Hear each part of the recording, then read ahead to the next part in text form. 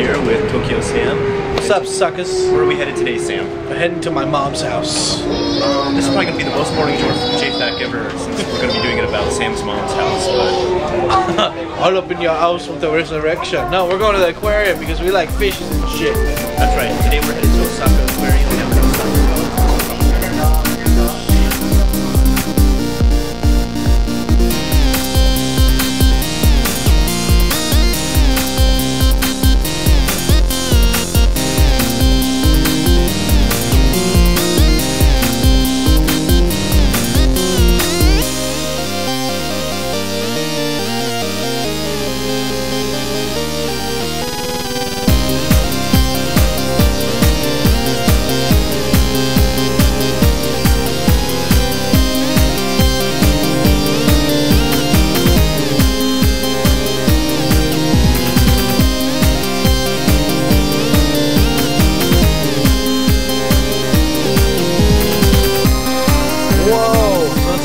island, dude. Yes, you come to a little tiny island when you come to see the aquarium here. And this island is not actually a real uh, natural island made by nature. It was a man-made island that was used by technology from a guy who also used uh, the Kansai airport, made the Kansai airport land, which is also a fake island, and another one farther off called Cosmos Square.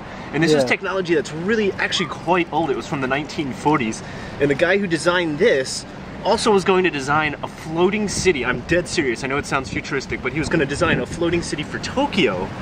But the guy who was funding him from Japan, the Japanese person funding him, died before that could actually happen. But here's some of the technology that he did get to start, and one of them is man-made islands like this that are really actually quite uh, superior to some of the natural ones you might see out here. Yeah, look at that, dude. Like, they even have a fucking elementary school and like a junior high school on a fucking like port island. It's so cool. And we're here and we want to go all the way down to, yeah. That's cool. Well, your adventure starts here by first going up an escalator that's about eight floors. You start out in what's kind of a jungle area like what we're at right here, and it's a perfectly contained environment that starts at the top where there's like a jungle type forest, they call it the Nihon no Mori Japanese forest area, and from the top you'll start to see water, like little lakes, little ponds and stuff, but they continue on down all the way through the entire eight floors, making a giant uh, aquarium that you're pretty much walking down in a spiral here, submerged. You can actually interact with your Nintendo DS. There's actually a game you can buy. You can put it in there and you can get information, turn it on, and play along with the place as you go from each part in each exhibit. That's pretty interesting. Something that's constantly being used in Japan. I've seen it at McDonald's and now here at the aquarium.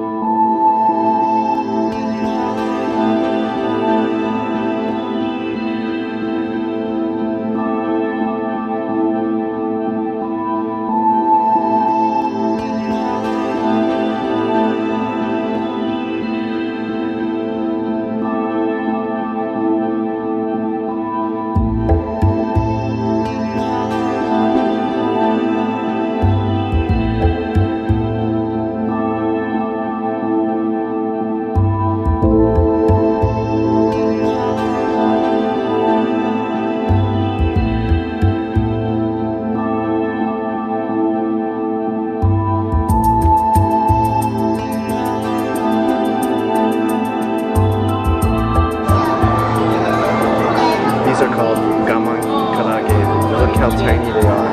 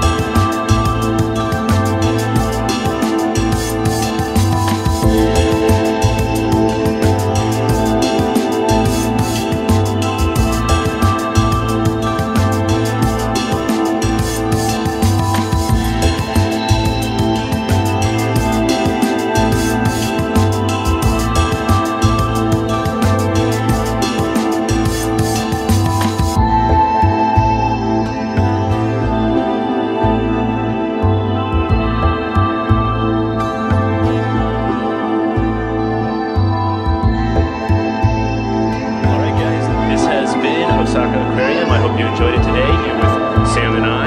Yeah. Until next time, this is JFAQ. I'm Unrested. This is Tokyo.